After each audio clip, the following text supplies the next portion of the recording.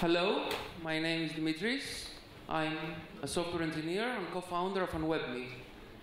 So during the winter, I like to develop software which I use to deploy all sorts of information systems.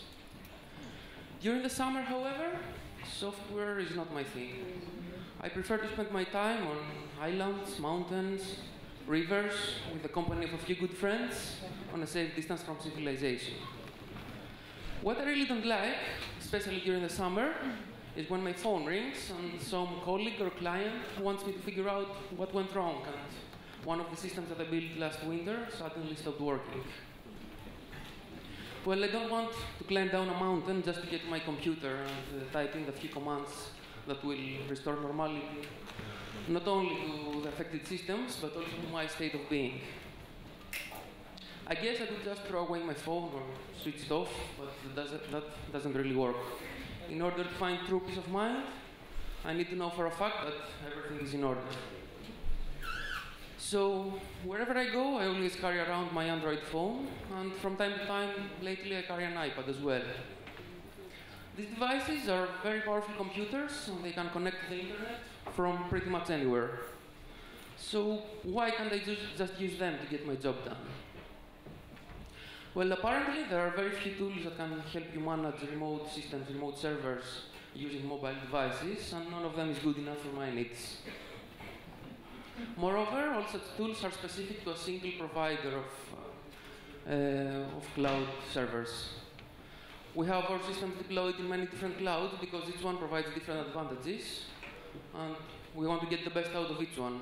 But we also need a unified interface in order to manage our machines. So, along with my friends at Unwebme, we decided to attack this problem.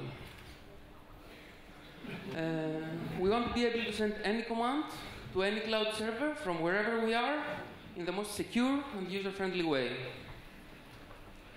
The solution is called Mistio, and we just released it as open source software.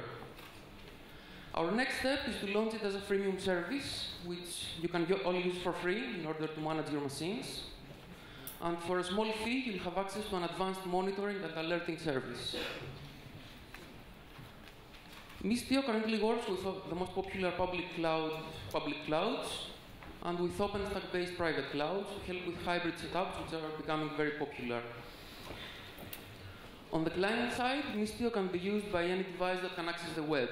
So iPhones, iPads, Android phones, or tablets, or your laptop or desktop computer.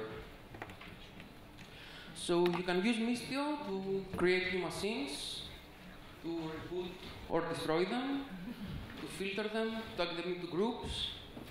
But more importantly, you can use it to send shell commands securely without the need of a client-side plugin. The shell is optimized for touchscreens, so you get autocomplete and the history of all recent commands and their output. Uh, and we plan to enhance it even, fur even further. The premium Mistio service will keep an eye on your machines at all times and alert you whenever anything is wrong.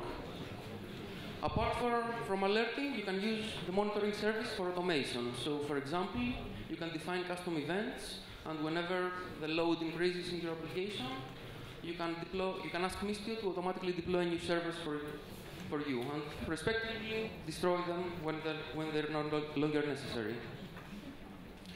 So this is only the beginning. We have big plans. We plan to enhance Mistio with more and more features, like a migration service that to help you move your machines from one cloud to the other in order to prevent vendor lock-in. And also, more importantly, we want to crowdsource the collective intelligence of our users. Uh, so we want Mistio to learn from past problems, server problems, and the solutions that the users came up with, and use this knowledge in order to provide you with good advice whenever you need it. For the time being, you can download the open source version directly from GitHub and let us know what you think. You can also register at https mist.io and get an invitation for the, for the beta, which is opening really, really soon. Thank you very much for your time. If you want to know more, please come talk to me or send me an email. Thank you very much.